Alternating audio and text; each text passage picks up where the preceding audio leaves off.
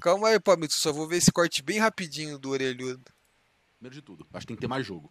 Seja abrindo do pra mais times entrarem, seja mudando o formato, seja de qualquer forma, assim, tem que ter mais jogo. Certo? Tá. Eu tô errado, tô maluco. Eu Não, tá gosto, correto. eu gosto, eu gosto. Tem que ter mais jogo. Porque, Eu por, assim, por exemplo, um negócio que o Eric Cat fala, que eu acho que ele tá muito certo, que assim, independente de que posição que você terminou, o Academy, você, todo mundo vai pro playoff. E vira um mata-mata e joga todo mundo. Porque é mais jogo pra todo mundo. Não tem por que você co- colocar um moleque de férias quatro meses, tá ligado? Não, e eu, eu acho que o, Academy poderia, é poderia é? ser. Tá o- o, problema Porque de. tá ser- rolando o terceiro split agora da Academy. Por que não? É, o problema de ter segunda, da terça, cara. quarta e quinta é que eu não sei como. É que é online, né? Daria de boa Mas, pra mas, fazer mas é que assim, a parada é que assim, o, o Academy não precisa terminar no mesmo momento que termina o CBLOL. Pode durar mais. Não precisa- pode. Pode. pode continuar sendo segunda e terça, mas tem mais, sei lá, mais três semanas. Legal, Entendeu? é uma. É uma... Porque aí fica mais time treinando também e tal. Não tem por que não. Ou tá então ligado? estender o calendário mesmo, né? É, sim. Tanto do Academy quanto do CBLOL também. Sim. Não tem por que não estender. A gente tem muito tempo Terceiro de férias, por exemplo. Os times agora. ah, A Loud foi pro Mundial, tudo bem, mas tem nove times aí que não estão fazendo absolutamente nada, Sim. pô. Nada. O Fluxo tá treinando vai- porque é obrigado. Nada Então, mesmo, não tá fazendo tá? nada. Porque a gente que chama vem. e não que joga vem, amigos. Acabou Saca? já. quatro É só é cachaça que isso que você falou de abrir. O, que o já. pra quem quiser ter. Porque acho que assim, esse pra mim é o seu futuro. Acho que não tem que obrigar o time de CBLOL a ter. Quem quer ter, quem não quer, não tem. Problema Quanto- deles. E Uhum. tem, só que assim, tem que rolar. São quantos players? São 5, 10, são 100 players? 100 players, Academy e CBLOL. São 95 players agora que estão de férias, mano, não?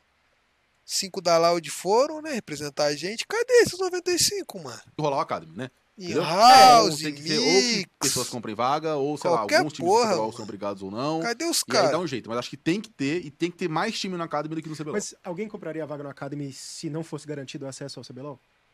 Cara, DNA Sim. rola, né? Será? Mas eu Vale acho que a, a vaga China Academy rola ali também. é tipo, pô, os é, pô, o time aqui tá fazendo um bom trabalho, que não sei lá o que, parece que já, tipo, meio que você vai estar aparecendo de alguma forma, Não, entendeu? assim, você Isso tem aí é um pulo né? pra você ir pro, vamos supor, pro CBLOL, É, sabe? e aí, se abrir vaga no CBLOL, vai ser o primeiro a ser cogitado. Que está lá Cara, na Academy tem, também. tem isso, org tá? Tier 3, pô, por que que eles não... É, Fora que assim, pô, lá na China eles fazem muito isso, né? Tem times que não estão na LPL, mas tem time no Academy e eles ficam vendendo jogador e vive disso. É que a exposição do. É diferente, eu sei que é Eu diferente. tô indo contra vocês. Cara, não tinha que ter um draft, não, nesse Academy, mano? Ou é loucura isso? Tipo NBA, NFL, mano? Sei lá, pô. Deixa os times todo. A molecada tudo sem time, foda-se, joga com os times da Riot mesmo. E aí faz um draftzinho maneiro, pô. O pior time do CBLOL pega o melhor player, mano. Tipo, a Liberty acabou ia draftar em primeira, ia pegar os melhores, que aí vai nivelando a liga, né? Mas daí, sei lá.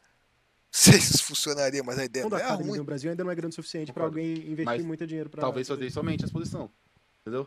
Tem esse caminho assim. Não Justo. tem como. Não tem, acho que Talvez, talvez. Não existe fórmula mágica. Ninguém aqui sabe a resposta certa. É que é, então, é Esse que é o- esse é o negócio de. É, é que eu só não. Eu só. Eu não sei se vocês concordam com isso. Tipo, o Academy, eu acho que ele é muito tranquilo pra um jogador quando ele pisa ali, tá ligado? Tipo, eu acho que ele luta, luta, luta, luta, luta pra chegar na Academy. Na hora que ele chega na Academy, ele. Uh, conseguiu um a- contrato. a- Que é o objetivo final, né? Será É, tipo, que é isso? eu tenho um. Eu não vou citar, mas eu tenho um conhecido. Eita, eita. Não saber, não. Tá, eu tenho um conhecido que, cara, lutou pra estar em Academy, lutou, tipo, pô, eu quero ser jogador profissional, eu quero jogar, ser jogador. Na hora que chegou no Academy, já tá.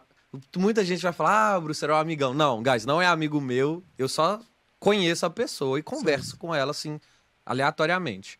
É, chegou no Academy, a pessoa, nossa, tá bom, tá bom, já cheguei no Academy. Antes a pessoa jogava, cara, 1.500. Eu acho que eu sei quem queue, é. puro split. Jogava pra caralho. Sei eu vi a não, pessoa lá hein. no top 10 do Challenger, top 20, jogando, tentando. Na hora que chegou no Academy, a pessoa tava lá, grão-mestre. Ei, 600 respeita o. GM, Aí eu mano. virei pra pessoa e falei assim, mano, por que, que você tá grão-mestre? Você é Challenger a season inteira. Ele, pô, tenho muito treino, que não sei lá o. Ai. Agora tenho que treinar, e aí treinar não sobra tempo pra jogar solo kill. Mas quando você chega, que tem que. Aí eu falei, eu falei assim, mano, se, se tu treinar e conseguir manter o que você fazia antes, de, tipo, jogar muito solo kill e de se dedicar, é perfeito, cara. Como que você acha que Revolta chega no topo? Como que você acha que Randall é, Chine cons- conseguiu Mago. ganhar? Porque, mano, os caras, eles eram diferenciais, o Aedes também. Eles eram diferenciais porque quando eles chegaram no lugar, eles falam... Foi "Eu não ligando tô as eu palavras, com isso, Eu quero mais. Eu quero o CBLOL. E aí, por não ter. Por ser, tipo, muito quem manda é o time, não tem muito daquela ganância que tinha no circuitão de, tipo, eu tenho que ganhar. Porque se eu não ganhar, eu vou pro T3. Copinhas. Tá ligado? Só existe o CBLOL como objetivo quando você tá no circuitão no T3, né? Naquela Não, época. assim, cara, o circuitão, os caras tinham line-up ali que gastava mais dinheiro que CBLOL, É saca? verdade, isso é Tipo, verdade. tinha Ezinha de Inquedo, do Rainbow Jackpot, vixe. Avan, era muita coisa. Santos, E aí-. E aí tinha a Red também, que só trocaram o Cabu pelo Jojo, que ficou em sexto no, no, no negócio, tá ligado? Então ali tinha que ganhar, irmão. Tinha. E eu lembro que em 2015, quando eu ia parar de jogar LOL, o Baiano virou pra mim e falou assim, Brucinho, vem jogar nesse time aqui comigo. Aí eu falei, Baiano, tô de boa de LOL, não quero saber de LOL, porque, pô, eu tema, toma muito tempo da minha vida, eu voltei a estudar, quero entrar em faculdade, não sei lá o que. Ele falou assim, ó, então vamos fazer um negócio. Joga um O campeonato Brucinho com a gente. ensino médio também? Vazou, Se, se você não ganhar, foda-se, não tem problema. Você segue sua vida aí. Se a gente ganhar, aí você vê se você quiser, quiser jogar. Aí era um campeonato contra o time do Minerva. Era o Minerva no mid, Ih, olha lá. Nexus, Ímpeto, Saci e Alox. No Dei- T3, mano, pra você ter uma ideia. Né? E eu não tava, eu não tava jogando LOL fazia uma cota. Eu falei, vamos, vamos jogar isso aí, Baiano. Aí era eu, Robô, Caos, Baiano, Script King e Léo Zucho. Um negócio assim. Nossa, isso era uma bagunça aquele time. E o robô, e o robô era muito novo, não sei lá o quê. Aí jogamos contra o time do Minerva, ganhamos. Aí, opa, calma aí. Nem tô treinando, tô mandou ganhando dos caras que trazeram importe. Aí, Baiano teve, a gente teve uma reunião, o Baiano falou, e aí, Brucinho, tu vai querer continuar? E aí, eu lembro que em 2015 a gente ganhou 5 mil reais, dava mil reais pra cada. Isso era muita grana. Tipo, você jogar um campeonato e ganhar mil reais. Falou, ó, Baianinho, vamos jogar isso aí. Ele falou, mas não é jogar. É, Eu quero que você volte a jogar solo kill e a gente tem que ganhar. Se é que você me entende, a gente tem que ganhar, saca? E aí eu comecei a me dedicar, era a gente reunião direto, brigando, discutindo, querendo melhorar, que não sei lá o quê. E eu não vejo isso mais, saca? Principalmente nos tires mais baixos, eu não vejo, tipo, Os novos talentos Essa- perderam o brilho, é isso, mano? e esse sentimento que a pessoa tem que Puta, ganhar, tá Tipo, ligado? o vai o racha, né? Tá ligado? Tipo, por exemplo, o, o cara perdeu uma. Um, um, saiu um 02 pra ele no Academy ou no CBLOL, é tipo, tá de boa, tá ligado? Não, não tá É de boa, são- cara. São dois lados muito diferentes da mesma moeda. Na sua época, pô, você não, não, não dá pra ter um plano B. Eu- o Dudes veio aqui e falou isso, eu Cara, de mas- tem plano B. Mas isso que o Orelha tá falando, dá pra saber isso, mano? Ou não? Que nem ele fala que os academies não são assim, caralho, vamos. Mas eu acho que existe um mundo onde são e só são magro, mano, não? Tipo. Não acho que porque. Porque não tem como saber, na real. É que, porra, eu não tô challenger, né? Então eu nem sei se os caras jogam muita solo Q ou não. Ele, como é, talvez seja isso. Ele vê mais pela solo Q. Mas existe um mundo onde os caras estão focados, estão se dedicando e só, porra, só não traduz, mano. B. Eu gosto Do da pessoa game. que vai all in, porque ele é da mesma época que você. Então, mano, era a única coisa. A gente tem que ganhar, tem que Mas chegar assim, lá. então, não é o melhor? Tipo, não, tem, não teria que voltar com isso? Isso- Mas ao mesmo tempo, hoje em dia, por exemplo, um monte de perrengue que você passou, graças à estrutura que foi montada, os, os moleques hoje em dia têm um pouco mais de tranquilidade, que na teoria deveria ajudar eles a trabalhar. Que é E o que que na teoria só piora. na, na teoria era pra ajudar, mas não acontece na prática.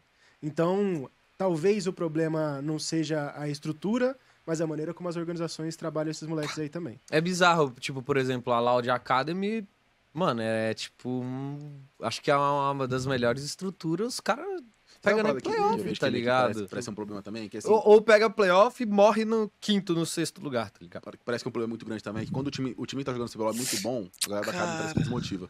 Porque não, não acha que tem não chance. vou, é, vou pegar a vaga do Root. Cara, Vou pegar a vaga será? Então, esse. Ai, velho, é não isso. deveria ser assim, tá ligado? Nossa, eu lembro que quando a gente, lá em 2015, o do time do Baiano, a gente entrou pra NTZ Red, cara, eu, Eu fazia com você, nessa época. questão de amassar o Talkers, velho, nos treinos. Eu fazia Mano, questão. o Bruce era Porque Ah, meu rolava, sonho era jogar- Calma aí, mano.